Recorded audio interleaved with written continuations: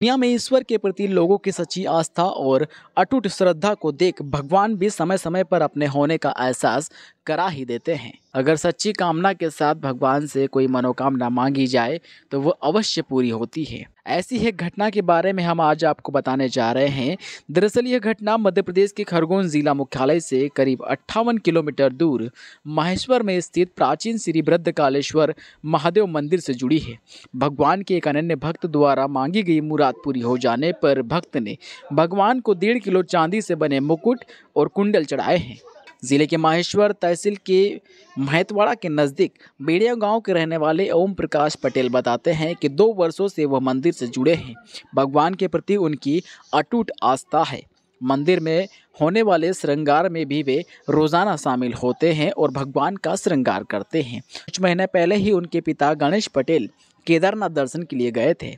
वहाँ पर उनकी तबीयत अचानक खराब हो गई। पिता के स्वस्थ होने की मन्नत भगवान वृद्ध कालेश्वर से ली, जिसके तुरंत बाद ही वे स्वस्थ हो गए। मन्नत उतारने के लिए उन्होंने डेढ़ किलो चांदी से भगवान के लिए मुकुट और कुंडल बनवाए। मंदिर के पुजारी ओम प्रकाश शर्मा बताते हैं कि माहेश्वर के नर्मदा रिसोर्ट के पास बना वृद्ध कालेश्वर का यह मंदिर अति प्राचीन है। देवी अहिल्याबाई होलकर द्वारा इस मंदिर का जीर्णोद्धार करवाया गया था। करीब बाईस खंभों पर यह मंदिर टिका हुआ है। गर्भगृह में भगवान वृद्ध कालेश्वर, भगवान विष्णु के साथ मौजूद है। शिव पुराण में भी महिष्मती नगरी में वृद्ध कालेश्वर भगवान का उल्लेख मिलता है। आपको बता दें कि अपने बच्चों के निमित्त पंडितों द्वारा महाअभिषेक करवाने सेंधवा के रहने वाले किरण तायल महेश्वर ईश्वर आई थी। का कहना है कि भगवान साक्षात है, उनसे जो कुछ भी मांगा जाता है, वह मिल जाता है। भगवान सारे दुख दर्द दूर करते हैं। वे बताती हैं कि उन्होंने भी अपने पोती के लिए भगवान से मन्नत मांगी थी, जो पूरी हो गई। ओम प्रकाश पिता गणेश पटेल, ग्राम बेडियम मेहतवाड़ा पिताजी की तबीयत खराब हो गई थी तो केदारनाथ गए हुए थे वो। और उनके अचानक तबीयत सीरियस होने के कारण उन्होंने फिर बाबा से मन्नत मांगी थी कि हमारे पिताजी की तबीयत सही हो जाएगी तो हम बाबा को मुकुट चढ़ाएँगे। मंदिर में तकरीबन दो साल से जुड़ा हूँ मैं। डेली श्रृंगार कर रहे हैं बाबा का। हाँ प्रतिदिन सोमवार और सोमवार के रोज विशेष श्रृंगार करते हैं भंग का। इतिहास को लेकर कुछ जानकारी है? इतना कुछ खास मालूम नहीं बाकी परमार वंश का मंदिर है ये और माँ अहिल्या जी के हाथ से दूसरी बार इसका जीर्णोद्वार हुआ था। महेश्वर निवासी वृद्धकालेश्वर मंदिर से बोल रहा हूँ। वृद्धकालेश्वर मंदिर सबसे पुराना और इनके समकक्ष में सात मंदिर और हैं।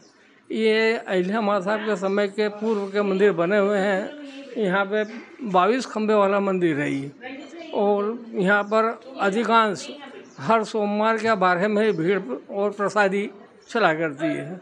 यहाँ पे व्यवस्थापक जो है, ये हमारे भूरी बाबा यादव, जो यहाँ की पूरी व्यवस्था करते हैं और मंदिर को सुचारू रूप से चला रहे हैं। इस मंदिर का इतिहास पुराने शिव पुराण में वृद्धकालेश्वर मंदिर के नाम से महिष्मती नगरी के नाम से प्र, प्रसिद्ध है। हाँ हिल्या साहब यहाँ तो आती थी दर्शन करने और बार बार हर सोमवार पे यहाँ आती थी दर्शन करने आते थे। राजा महाराजा भी यहाँ आते थे और उन्होंने यहाँ सेवा बहुत करी और भगवान का यहाँ पे भी कई संत रह चुके हैं और कई संतों की समाधि बन चुकी है। और बढ़िया मंदिर का काम का अच्छा चल रहा है, सुचारू रूप से। मेरा नाम किरण तायल है। हम लोग सेंधवा से आए हैं।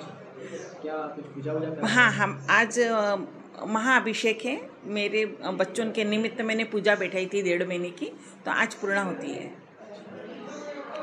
कुछ मान्यता है हाँ मंदिर की मान्यता है कि ये बहुत पुराना मंदिर है। यहाँ जो भी भगवान से शंकर भगवान से मांगो सारी इच्छाएँ पूरी होती सारे दुख दर, दर्द दूर हो जाते हैं। जी मैंने मान्य मानता ली थी मेरी पोती के लिए। मेरी वो हंड्रेड एंड वन परसेंट पूरी हुई है। मतलब ये साक्षात एक अपने को प्रूफ है कि अगर भगवान पे विश्वास करो भगवान को मानो तो क्या नहीं हो सकता है? हर कुछ हो सकता है। Deepak Pandey local eighteen Khargone.